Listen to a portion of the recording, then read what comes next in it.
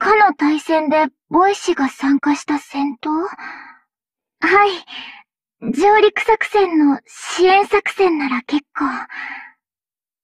一番印象深いの。うん。エスペランス岬の時。あの時は、ヘレナちゃんに助けられた。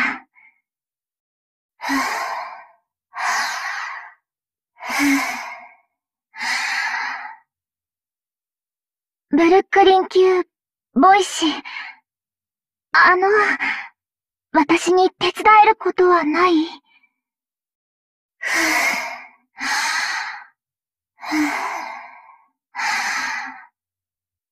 仕事の時間だよ。潜れるけど、せ、潜水艦じゃないから、長くは潜れないよ。7月9日、大事な日だよ。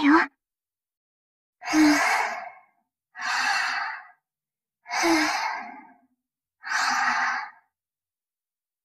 ん、リラックス。フェニックスは、どこからどこまでも熱い子ね。ボイシは少し、つ、冷たいかも。うん、ちゃんと聞いているよ。これは、一体？指揮官、まだ任務があるよ。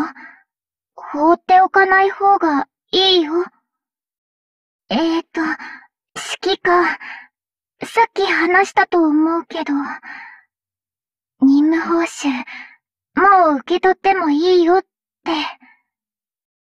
指揮官、新しいメール、読むのを忘れないで。いない間にちゃんと留守番するから、安心して。軍事委託の成果、研修をお願い。強化完了。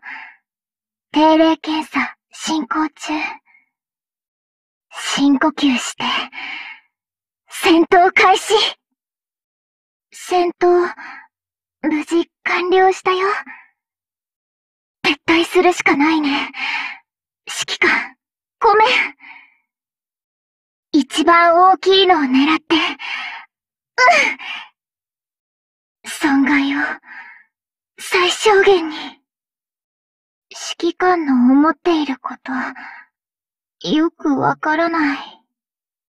指揮官にリマインドする情報は、特にない。うん。指揮官も少し、リラックスしてていいよ。つまずきそうになったら、あとちょっと頑張ってって、いつも自分に言い聞かせていて、指揮官も試してみない。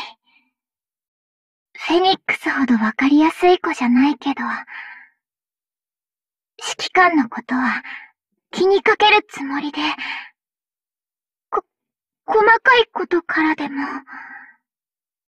たとえ顔が見えなくても、指揮官のそばにいるボイシは、ずっとずっと、心から幸せで、笑っているよ。戦闘でも、普段のお仕事でも、ボイシ、指揮官のために、もっと色々してあげたい。そ、んなボイシでよければ。は